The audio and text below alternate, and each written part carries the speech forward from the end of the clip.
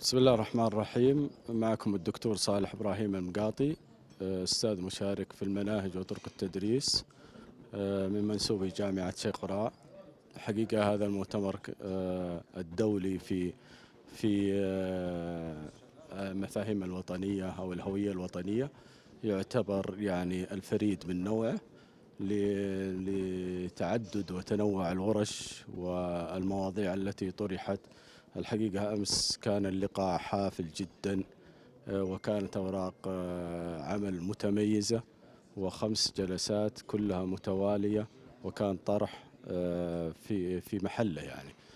وهذا الموضوع مهم جدا خاصة في في في هذا الوضع الحالي في التوجه العالمي أو ما يسمى بالعولمة.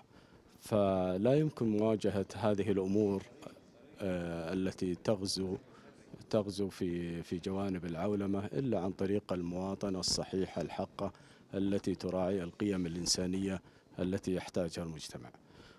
أضف إلى ذلك إن عندنا المواطنة العالمية، عندنا قيم أخرى مشتركة ما بين العالم أجمع. فلا بد من التصالح حول هذه القيم بكل مفاهيمها المشتركة ما بين المجتمعات العربية والإسلامية وما بين المجتمعات الأخرى. آه، الحقيقة كان آه، مرتب جميع آه، ما تم طرحه في اللقاء والأخوان الحقيقة نشكرهم على التنظيم وتهيئة المكان واستقبال الناس والضيوف فشكرا لكم. شكرا دكتور.